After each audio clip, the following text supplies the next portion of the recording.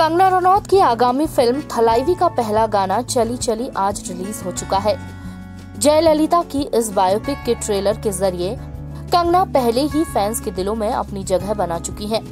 वहीं अब इस गाने चली चली में जयललिता के फिल्मी करियर की झलक देख फैंस काफ़ी खुश हैं। गाने का संगीत जीवी प्रकाश कुमार ने दिया है और आवाज़ सेंधवी की है इस फ़िल्म में कंगना तमिलनाडु की पूर्व मुख्यमंत्री जयललिता के किरदार में उनकी कहानी पेश करती नज़र आएँगी।